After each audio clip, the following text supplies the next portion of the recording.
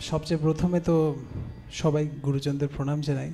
আর specially Siraj ভাইকে ধন্যবাদ জানাতে চাই যে আজ এই সুযোগটা সে আমায় করে দিয়েছে যাতে আপনাদের সামনে আসতে পারি। আর, বেশি কথা না বলে জাস্ট এতটাই বলতে চাইছি যে আমরা, আর আমি স্পেসিফিক্যালি আমি বেশি করে কোনো প্রেজেন্টেশন দিতে বা কনসার্ট পারফর্ম করতে আসেনি, আপনাদের আশীর্বাদ নিতে এসেছি। তো আপনারা আশীর্বাদ দিন যাতে কি এই সাধনাটা ভালো করে হতে পারুক। Thank you